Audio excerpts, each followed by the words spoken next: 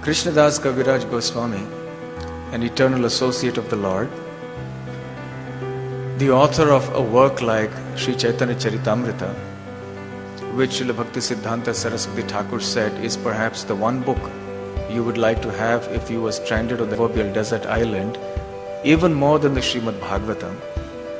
When this Sri Krishnadas Kaviraj Goswami glorifies unlimitedly Sri Vrindavan Das Thakur, then we can only begin to imagine the glories of Sri Vrindavan Das Thakur.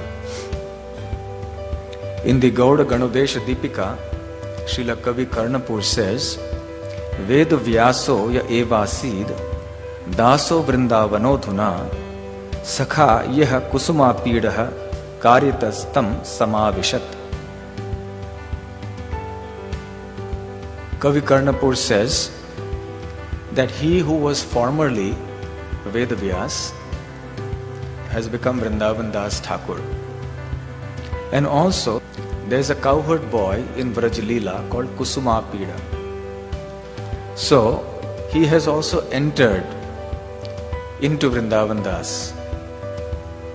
So, Srila Prabhupada explains in one purport in the Chaitanya Charitamrita that we can understand that Vrindavan Das Thakur is the combined incarnation of Srila Vyasadev and the cowherd boy of Vraja, whose name is Kusuma Pida.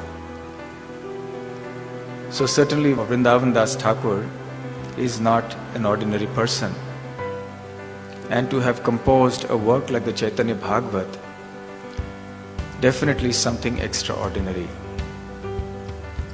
Srila Bhakti Siddhanta Saraswati Thakur says that Chaitanya Bhagavat is not only written in very simple language, but it is also very touching to the heart.